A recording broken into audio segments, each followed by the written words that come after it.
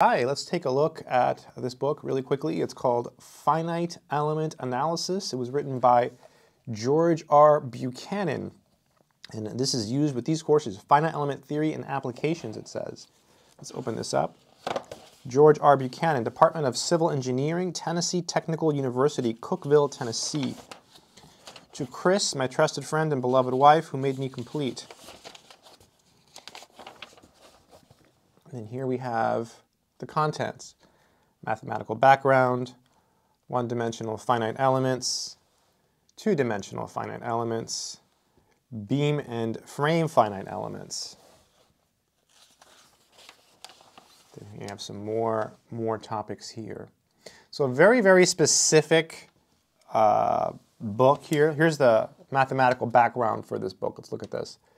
The mathematics required for the study of finite element analysis can vary from elementary to sophisticated. Fortunately, most concepts can be mastered with a reasonable knowledge of vector analysis, matrix theory, and differential equations. Wow. So you do have to know quite a bit.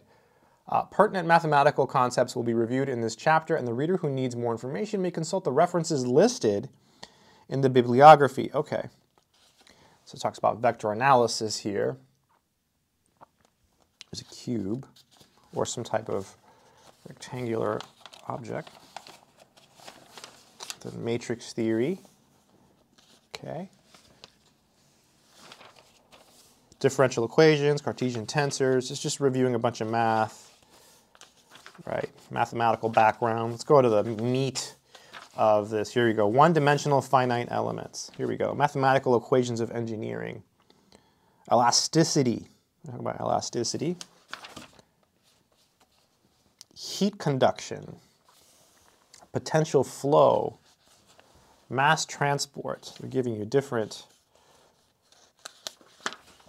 things here. Then we have the stiffness matrix, connectivity, boundary conditions. It's cool, right? The direct method. Then we have some solved problems here.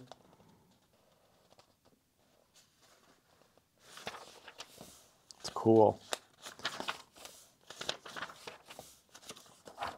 Two-dimensional finite elements.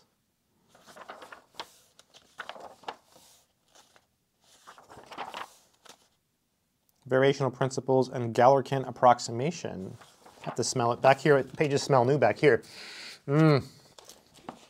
Nice. Yeah, it's pretty cool stuff. Good luck.